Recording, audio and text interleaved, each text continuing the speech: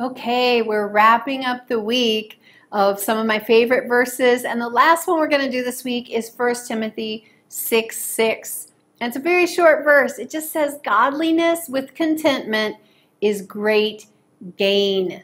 Great gain. We're all looking for what is a good investment? How can I invest in the market to get more money? How am I going to get the best return on my investment?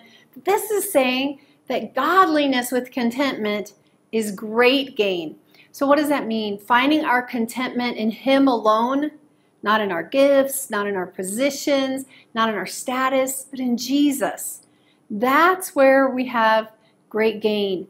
Matthew 6, it talks about don't worry about what you're going to eat or what you're going to wear. All these things that are about our daily life, don't worry about that. He wants us to think only about Him and to trust in Him, that He takes care of all of that. All right, let's look at it at the message. The message says godliness is rich simplicity of being yourself in front of God. Being yourself in front of God. What does that mean? It means when you can look in the mirror and you're seeing yourself and you like who you are, you stand in front of God without a mask, without any kind of other expectations or comparisons. You're not thinking about how you measure up to someone else. It's just you. And need to say, Jesus, this is who I am, and my heart is all yours. And that's the key. Is your heart all His? Is it really all His?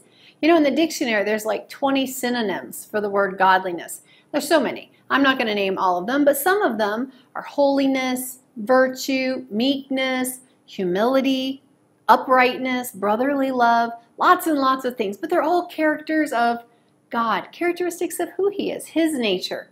So, ways that we should be like Him.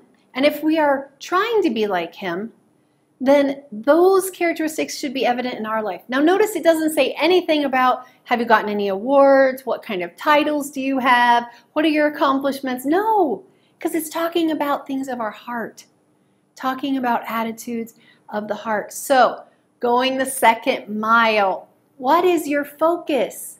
Are you content in Jesus? Is Jesus enough for you? Or is it, I need Jesus because I need all his gifts, because I need all his blessings, because I need him to use me and him to lift me up? You know, that's wonderful, but Jesus is enough. So put your eyes on him. He's the best investment you could ever have. And when you become content in him, that is the richest life you could ever imagine.